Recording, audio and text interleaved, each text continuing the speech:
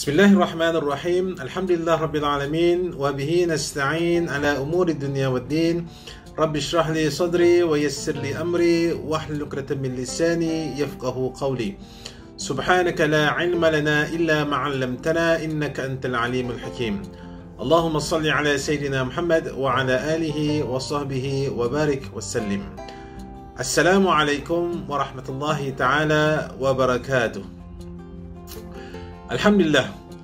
Apa khabar tuan-tuan dan puan-puan yang dirahmati Allah? Semoga kita semua di dalam lindungan dan rahmat Allah Subhanahu wa taala. Amin ya rabbal alamin. Dalam tazkirah sebelum ini, eh, saya telah membicarakan tentang kepentingan kepentingan untuk kita dan keluarga kita mendalami ilmu agama. Kerana dengannya, eh, kerana dengannya ia dapat melindungi diri kita serta keluarga kita daripada kejahilan dalam mengamalkan agama dan menghindarkan kita juga dari kekeliruan dan juga kesesatan.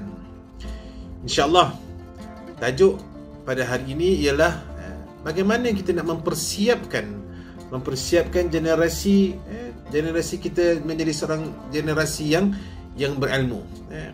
dengan kita sentiasa mengingatkan anak-anak kita serta terus mening- untuk terus meningkatkan ilmu mereka. Ingatlah tuan-tuan dan puan-puan, eh, orang yang berilmu akan diangkat darjatnya oleh Allah Subhanahu wa taala. Ini sesuai seperti mana firman Allah Subhanahu wa taala dalam surah Al-Mujadilah ayat 11 ba'da a'udzubillahi minasyaitonir rajim. Yarfa'illahu alladhina amanu minkum walladhina utul 'ilma darajat. Wallahu bima ta'maluna khabir. Yang bermaksud eh, Allah meninggikan darjat orang-orang yang beriman di antara kamu dan orang-orang yang diberi ilmu pengetahuan agama dari kalangan kamu beberapa darjat. Dan ingatlah Allah Maha mendalam Allah Maha mendalam pengetahuannya tentang apa yang kamu lakukan. Ayat yang saya baru bacakan tadi eh, menunjukkan bahawa martabat dan kedudukan ilmu begitu tinggi di sisi Allah Subhanahu wa taala. Hingga kan martabat seseorang yang berilmu itu dinaikkan bersama-sama darjat ataupun martabat orang-orang yang beriman. Ilmu pengetahuan adalah kunci, eh, kunci untuk manusia mengenali Allah Subhanahu Wa Taala. Dengan ilmu lah manusia mampu memperolehi petunjuk dan memilih jalan keredaan keredaan Allah Subhanahu Wa Taala. Tuan-tuan dan puan-puan yang dirahmati Allah, dalam kita membicarakan tentang ilmu agama eh, yang mempersiapkan kita untuk hari akhirat, janganlah pula sesekali-kali kita ni mengabaikan mengabaikan kepentingan ilmu untuk menguruskan kehidupan kita di dunia ini. Kedua-duanya harus bergerak sama langkah demi mencapai kecemerlangan di dunia dan juga di akhirat. Seperti mana kata Imam Ash-Syafi'i, Barang siapa yang menghendaki kehidupan dunia, maka beliau memerlukan kepada ilmu. Dan barang siapa yang menghendaki kehidupan akhirat, maka beliau memerlukan juga kepada kepada ilmu. Maka pendapat Imam Ash-Syafi'i tersebut menekankan menekankan kepentingan menuntut kedua-dua jenis ilmu ini. Eh, sama ada ia adalah berkenaan urusan dunia maupun berkaitan agama. Maka jangan sesekali kita mengabaikan satu aspek demi mencapai aspek yang lain. Ya. Nasihat Imam Syafi'i ini saya rasakan adalah penting. Kerana kita sebagai ibu bapa memainkan peranan, memainkan peranan penting dalam membesarkan anak-anak. Bahkan pembangunan, pendidikan serta pencapaian anak-anak adalah antara aspek yang terpenting yang wajar diberikan perhatian baik dalam ilmu ukhrawi dan juga ilmu duniawi. Ianya mestilah mestilah seimbang. Dan pendekatan, eh, pendekatan dan cara pendidikan anak-anak sekarang juga mesti diberi penekanan.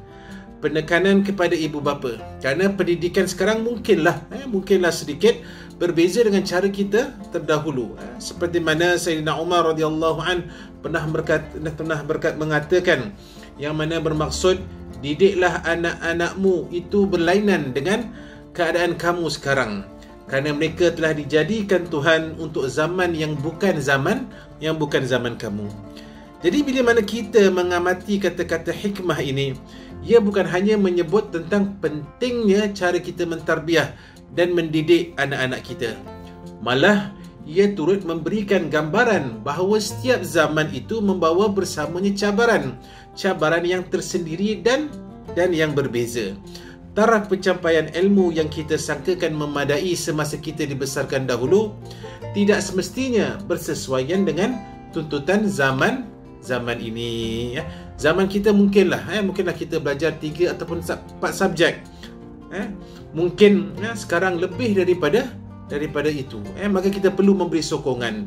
Memberi sokongan kepada anak-anak kita untuk terus meningkatkan ilmu pengetahuan mereka dan di samping itu juga sebagai ibu bapa kita pun mesti mempertingkatkan ilmu ilmu kita eh dalam ilmu bab apa dalam bab cara kita hendak mendidik mendidik generasi sekarang dengan penuh dengan penuh hikmah dengan penuh eh memahami mereka memotivasi menggalakkan mereka untuk terus untuk terus belajar eh? dan janganlah kita sesekali merasakan eh? merasakan beban untuk terus eh? Beban untuk terus mempersiapkan anak-anak demi masa depan mereka. Atau merasa berat merasa berat untuk mengeluarkan nafkah demi eh, demi menuntut menuntut ilmu. Seperti hantar ke kelas tambahan ataupun tuition ataupun sebagainya eh.